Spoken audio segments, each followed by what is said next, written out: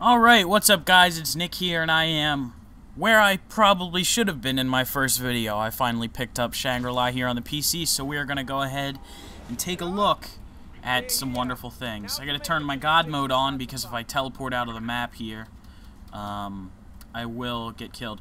Now there's gonna be some interesting uh, sounds going on here in the background, so I'll, I'll turn it down and frame rate might suffer. But okay, here we are where we first were uh, in the first video. You can see the mountain out there. So let's go ahead and take a closer look here. So we've got down here below, you can see the water meandering down through this grassy valley, all kinds of fun stuff. But uh, I'm revisiting in this video the original Mars theory because obviously it's a bit far-fetched and you just gotta you just gotta toss things out sometimes and let it stick to the wall. Alright, so we're going to go all the way out here to the actual texture. We're going to leave Shangri-La. You can see here that the mountain is, well, largely what we thought it was. There is the red rocks, and it, it's, it generally looks like a canyon wall. Uh, you can see here on the left, you can see this green mountain. You can see the dried ground on this side. So right there, you can definitely see the contrast uh, between these two objects here. But the interesting thing is, when you get closer to this mountain, uh, and you actually take a closer look at it, it, it really makes you think that it is on Earth and not on another planet. And I don't know if you can start to see this form here, but actually on the bottom of this canyon here, you can see uh, green plants growing, which obviously wouldn't happen on Mars, which is great. I'm glad you guys were able to freely discuss this on the video. I had a great time talking with everyone. It was awesome. But, uh, yeah, you guys generally convinced me that we do need to go back and uh, rediscuss a couple things about this theory with this mountain. Uh, because Mars is a bit far-fetched, but uh, a boy can dream. Let's say that. A boy can dream. Uh, but as we get closer here, you can see these green uh, plants are growing at the bottom here. So to me what this indicates is that down along this bottom area here there would be a lake passing, a river, sorry, a river passing by in this canyon. Uh, you have your greens growing there because the water obviously can saturate into the ground and uh, and make stuff grow. And then the walls here, once again, you've got this big, uh, this big, you know, cuts in the wall where the river's cut down. Here's the face that we were actually originally seeing, which is pretty interesting. I'm not sure if that's natural or something they added in. Uh, and one point of it was there is a famous Mars image of a face um, taken years ago back in the 70s, I want to say, by one of the first orbiters. Actually, it was probably taken by Voyager, which is now uh, outside of our gal or our solar system. But there's the face. It, it looks like that may be in there just for for the lulz. But this is this is the canyon wall here. Uh, and to me, what this looks like is they literally went out, took a picture either off Google or they went on location and took a photo. Um, and they just kind of photoshopped it in here as the skybox. And so, so yeah, this is the the thing that we were looking at, and this is a better look at it here, which we probably should have done in the first place. But this uh, makes me want to go back, and I found a couple things in the comments that people had left and suggested to me, and and uh, Rad Austin's awesome guy uh, put up his theory too, which is great. Um, so we're gonna go ahead back to the wonderful video editing space and discuss that. Alright, so the picture you see here is from Sedona, Arizona. This is a place in Arizona on Earth. Uh, it's known for its red rocks and distinctive style. Uh, now, obviously, this is a bit too green to exactly match the mountain, but I would like to argue that we're not looking for a specific place. Uh, these can give us clues such as canyons or valleys, uh, such as the loading screen. I think that definitely indicates that we are in some type of valley somewhere, and that mountain is probably a picture from the Great Canyon, or the Grand Canyon, I'm sorry. The, uh, that picture on Shangri-La is probably from the Grand Canyon, if you ask me, and that's because, well, there's no you know, if it's on some other planet, there's no real picture from that planet that they can use. Uh, so I think that that picture that we see on Shangri-La is maybe just being used as a reference or a hint. Uh, I don't think we're looking for a specific match, or best, that would not be the place to start for a specific match. Uh, what I would rather like to say is that we're not looking for anywhere specific on Earth or on the Moon or on Mars or on Venus or Pluto.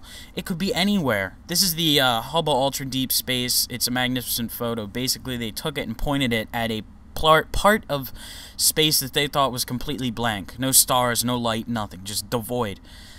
And they zoomed in really, really deep, and then when they got these photos back, they analyzed them, cleaned out all the uh, the radiation, and they got the light that stayed constant. And these are all different galaxies. These are millions of galaxies here. Each of these galaxies have millions has millions of stars in them. Each of those stars have millions of chances to have planets orbiting them. So really, Shangri-La could be anywhere in the universe. And I think that this is maybe meant to hint, instead of that Shangri-La is at a specific place, maybe we should be pursuing the possibility that Shangri-La is at another, someplace altogether. Uh, you know, it doesn't have to be on Earth, it doesn't have to be on Moon, it doesn't have to be on Mars, it could just be anywhere. That's a possibility I'd like to raise now.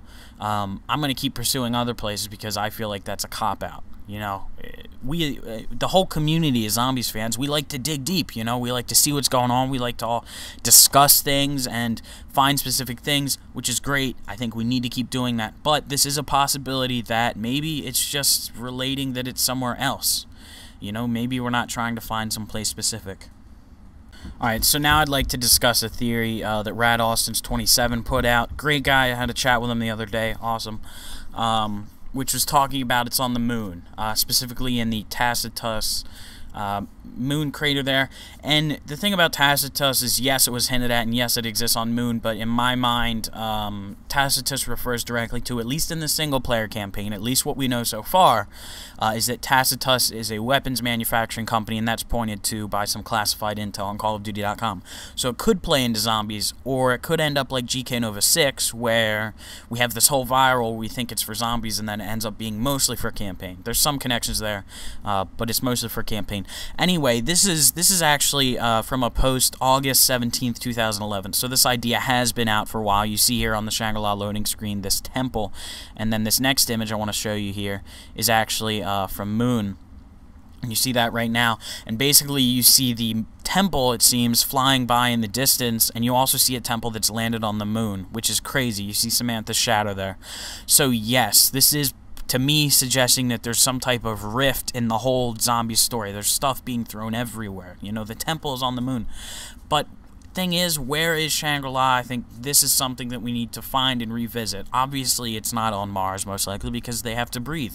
It's possible, but it's it's loose. Same with the moon. Um, how are they breathing? That type of stuff. It opens up a whole realm of possibilities. But the greatest thing I think that has come out of this is that the whole community is working together on this, which is awesome. Feels great. Um, so, you know, I just let's keep brainstorming on this. Let's see what we can get going. Uh, I, I don't think we're looking for something specific. I think we're looking for more of a general idea of Shangri-La is where it's not supposed to be.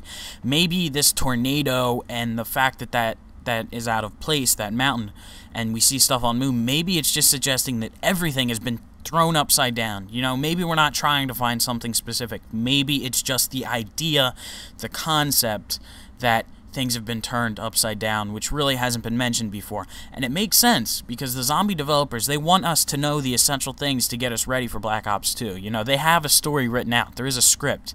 They are planned for this thing. They are ready to go for Black Ops 2, so I say bring it. Um, thanks again to everyone. I can't wait to bring you guys more theory videos. It's great to be able to discuss these things uh, with you guys. Absolutely awesome. Um, I got something really cool coming out this next week that I really hope you guys will enjoy. Um, but thanks again to everyone. Rad Austin, great theory. It was awesome discussing stuff with you.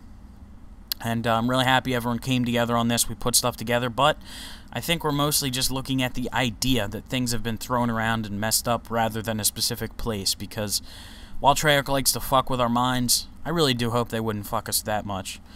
Uh, so thanks, guys. I'll see you next time. Bye-bye.